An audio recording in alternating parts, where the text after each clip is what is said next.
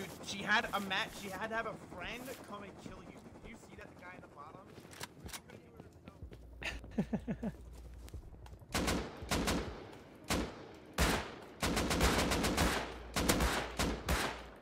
Oh no!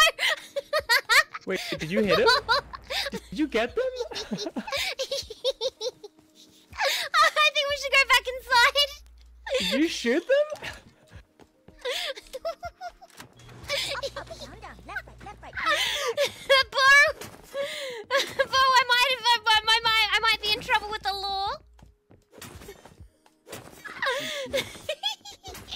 I mean, it said he fell, right? You, you guys all saw it. He fell. It said he fell in the chat, right? It, he fell.